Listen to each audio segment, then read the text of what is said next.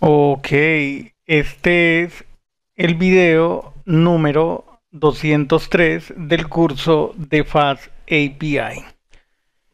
Vale, en el video anterior estuvimos creando el código de una API. Es una API muy sencilla. Tenemos en primer lugar una base de datos que es un diccionario, una llave secreta. Tenemos un modelo que viene a partir de base model. Ese modelo item tiene tres eh, atributos, el ID, el title y el description. Podemos leer un item a partir de su ID, esa es la primera operación de ruta, tipo get, claro. Y otra operación que permite crear datos, eh, post, crear otro item. Entonces, eh, a continuación nos concentraremos en el archivo de pruebas. Vamos a crearlo aquí en Application. Escribiremos text main.py. Text va a indicar que es un archivo de pruebas. Y main va a indicar que es sobre un módulo, un archivo Python que tiene las operaciones de ruta sobre las que efectuaremos, llevaremos a cabo las pruebas. Listo, entonces desde FastAPI.TextClient importamos la clase TextClient. Desde app.main el objeto app que es de, tipo FastAPI. Creemos el cliente. Así. A la clase TextClient le pasamos como argumento el objeto FastAPI. Realicemos la primera prueba que consiste en leer un ítem. Ok. Un item dado su id def text read item. Eh, guardamos la respuesta de llamar client.getItemFoo y pasamos el header eh, en, un header particular es token cuyo valor es Yosa Vargas Mario entonces ahí tenemos la respuesta. Verifiquemos si el código de estado es 200 y si eh, los datos corresponden con ID foo, title foo y el description. There, go, there goes my hero. Ya está. Cerramos llaves y esa sería la primera prueba podemos hacer un commit de esto que hemos escrito, módulo para realizar pruebas de la API de items. Puede quedar de esa manera. Ok. ¿Qué pasó? Vale, entonces esa sería la primera prueba. Eh, leer que el toque, o sea, es una prueba, esta que sigue es una prueba para verificar que el token no es el que se espera. Damos un valor para el ex token distinto. Em, agregaré aquí primero documentación. Eh, check. Listo, así puede ser. escribimos dev text read item bat token. Básicamente lo que viene después de text esto es como la descripción de lo que vamos a probar. La ruta read item. Mm, a ver podemos eh, aplicar autocompletado el mismo foo, pero el ex token puede ser, por ejemplo, a ver, otro, otro escritor. Eh, Mario Mendoza, Mendoza Mario. El, el, token no va a corresponder. Ex token header invalid. Quiero mirar acá. Ex token header invalid. Debe decir lo mismo este objeto es tiene que ser igual. Un commit eh, que diga eh, no se ha especificado el token de seguridad correcto. Listo. Eh, ahora text create item. Text create item.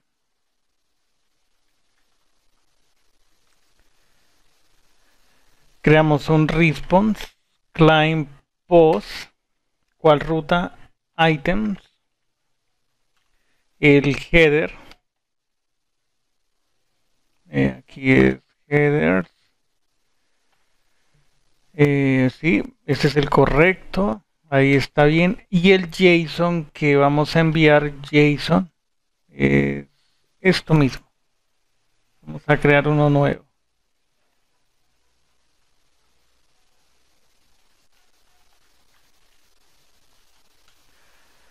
verifiquemos que el código de estado sea 200 y que la respuesta aquí assert JSON copiaré esta parte de aquí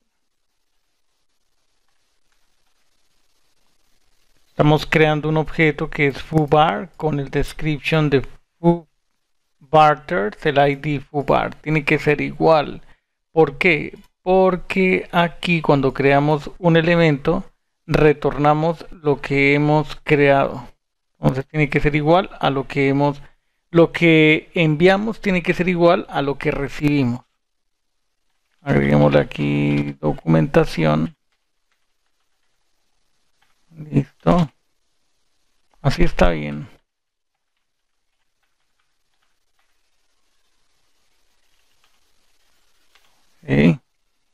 Comprueba o prueba mejor, prueba la ruta de creación de un ítem. La siguiente prueba tiene que decir que al momento de crear un ítem, eh, el token es incorrecto. Listo, entonces copio este esto aquí para agilizar un poco. Create item bad token.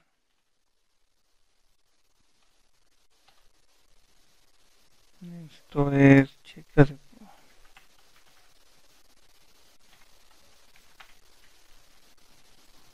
Entonces, esto lo copio, es básicamente la solicitud post a items. Pasamos un, eh, puede ser este mismo token, que no corresponde con esta llave. Entonces ahí se produce un problema. El código de estado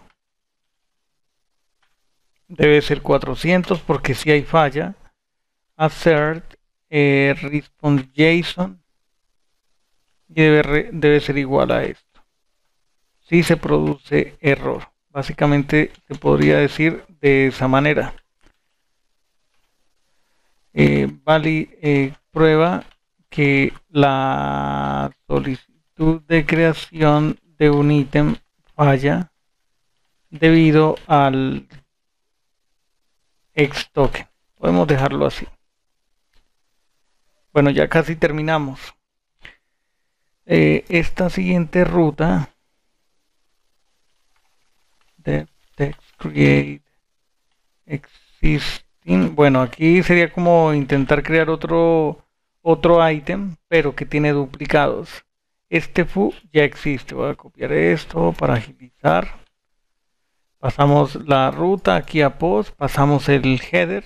Esto aquí sería Yosa Vargas Mario. El ID foo que se repite. Tan, tan, tan.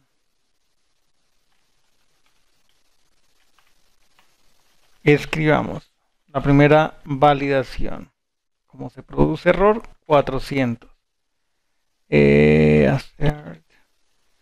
que el contenido sea este, lo que retorna la API sea igual a esto, a este diccionario. Yo creo que ahí ya está. Otro commit que diga em, prueba que prueba que la API no permita duplicados de ítems. Puede ser de esa manera.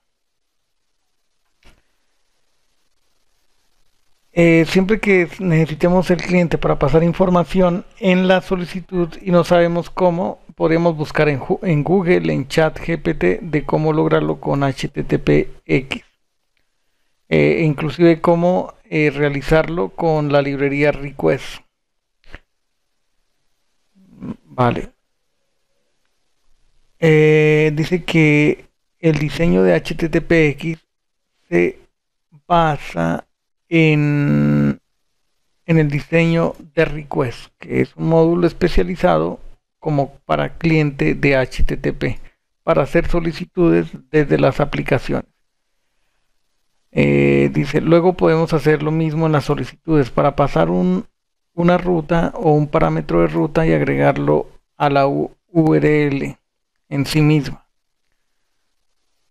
Para pasar un cuerpo JSON pasar un objeto eh, Python, en este caso un diccionario, al parámetro JSON. Es básicamente lo que hemos hecho a lo largo de, de estas pruebas. Nótese que el text client recibe datos que pueden ser convertidos a JSON, no a modelos Pydantic. Si tenemos un modelo Pydantic en nuestras pruebas y queremos enviar sus datos a la aplicación durante las pruebas, podemos usar JSONable Encoder. Podemos aprender más de el tema en este enlace. Esa parte la omitimos. Voy a cerrar esto también.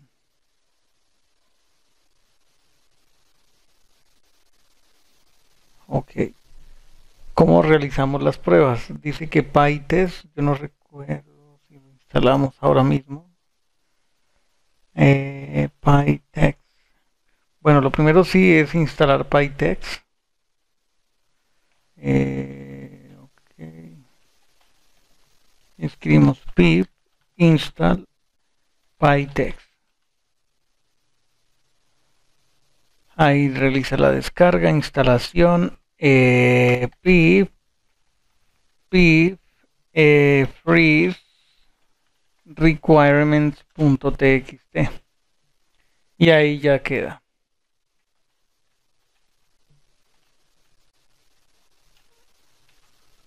¿qué pasó con esto? agregación del módulo de PyText recordemos que con PyText podemos realizar eh, podemos realizar pruebas unitarias. Eh, detectará los archivos y las pruebas automáticamente y las ejecutará. ¿Cómo podemos ejecutar las pruebas? Escribiendo PyText. Listo. Entonces, eh, a ver. Nos desplazamos a S05 tutorial, a T40 y después application. Ahí están los archivos. Y nos dicen que escribamos pytext ya eh, dice que no encuentra el módulo request. Vaya.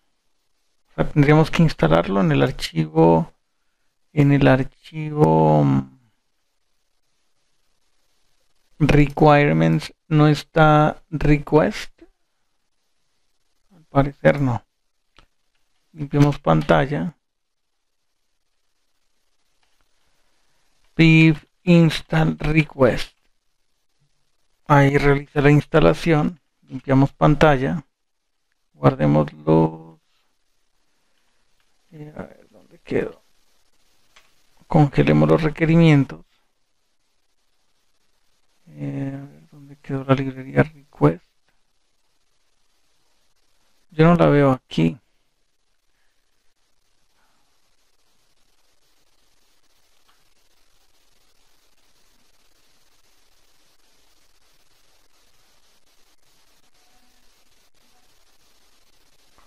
Bueno, hay un problema, es que requirement se está guardando aquí. No, no, no, no. Es aquí. Borremos este, lo creo en un lugar que no es.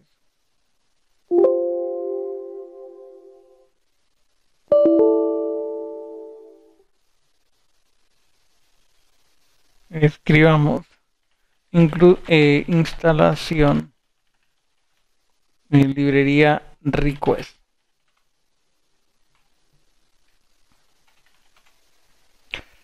Listo, entonces escribamos pytext Mm, vaya, eh, no module name app. No lo está detectando. Estamos dentro, a ver, dentro de la carpeta application.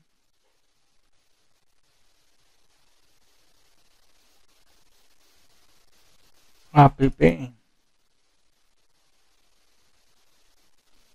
no lo encuentra aquí en el text main from app.main.in aquí import app. En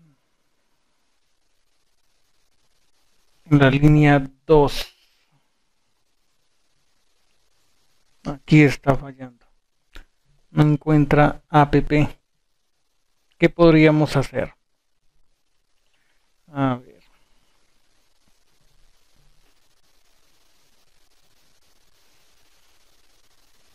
en el archivo. Está como from main import app. Voy a cambiar esta forma de importación adaptarlo para que pueda ejecutarse de forma satisfactoria. A ver. Limpiamos pantalla pytext listo. Tan tan. Hay una assertion error. A ver que 5 fallan. Qué está pasando ¿Qué tendríamos que hacer antes de ejecutar esto? Es necesario eh, eh, poner en ejecución la, API. Miremos la primera prueba que él hace. Em, compruebe que el endpoint aquí en read item eh, cuando dice que el error es 422 ¿qué está diciendo con 422 assertion error. No se está cumpliendo aquí. Ahí falla en la línea 15 tendríamos que hacer algo más a ver donde text eh,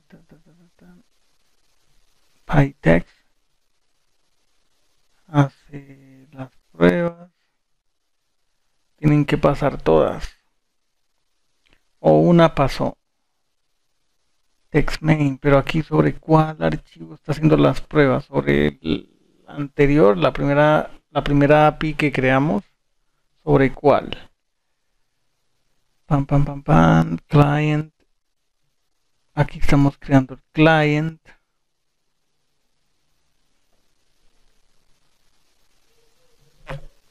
haré lo siguiente. Eh, Voy a abrir otra otra ventana de estas. Nos, nos pasamos a S05 T40 Application y ejecutamos la API UbiCore. Em, bueno, tendríamos que decir aquí main app y que se ejecute, que se recargue cuando hayan cambios en el archivo. Bien, intentemos hacer las pruebas aquí, limpiamos pantalla, todas fallan, inclusive da errores diferentes, códigos de error diferentes o códigos de estado que no coinciden con lo que estamos esperando. 422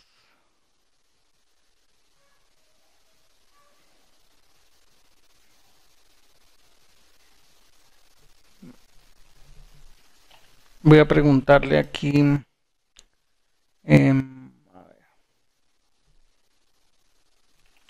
qué significa el código de estado 422 en HTTP a ver le enviamos la solicitud a ChatGPT. Dice que eh, significa entidad no procesable. Este código se utiliza cuando el servidor web entiende la solicitud del cliente pero no puede procesarla debido a errores en los datos enviados en la solicitud. ¿Qué está mal? Verifiquemos respecto a lo que está en el código. Ah, vale, vale. Está mal, mal diseñado. No, no, no. Esta es la ruta, perdón. Items eh, ta, ta. Quiero mirar el de pruebas. voy a copiar esto tal. Eh, este código de aquí. Este es el de test read item. Voy a copiarlo. Lo reemplazo. De pronto hay algo mal escrito por ahí. Y vuelvo a ejecutar PyText. Pero sigue generando el mismo error eh, en text read item que puede estar mal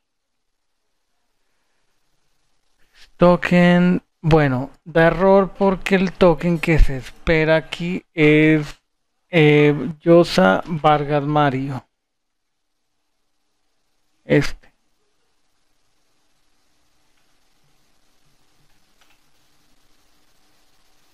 Sigue dando lo mismo.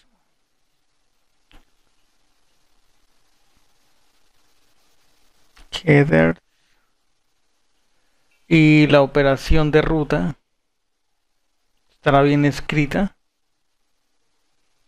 Mm, vayamos hasta hasta aquí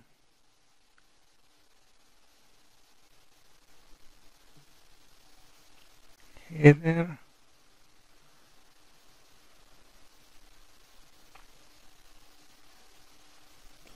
no se ve nada extraño mm.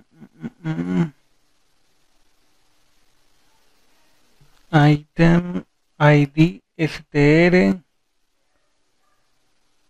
Mm. Bueno, voy a, voy a pausar aquí y ya continuaré. Podemos continuar en el siguiente video. Vamos a hacer un receso. Antes, aquí escribamos eh, pendiente de revisión de errores. Ok, que los cambios queden disponibles en el repositorio remoto.